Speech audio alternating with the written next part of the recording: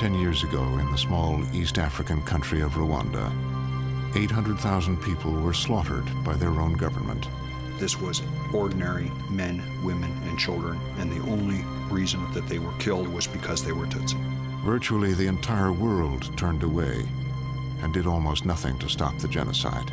In retrospect, it all looks very clear, but at the time, what was happening in Rwanda, the situation was unclear.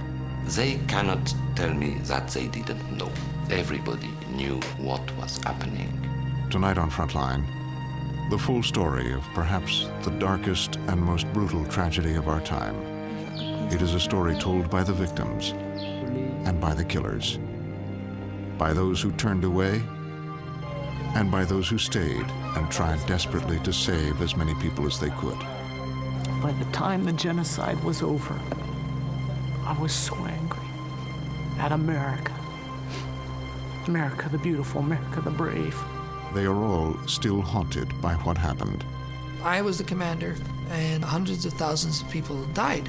I can't find any solace in statements like I did my best. Still haunted by the ghosts of Rwanda.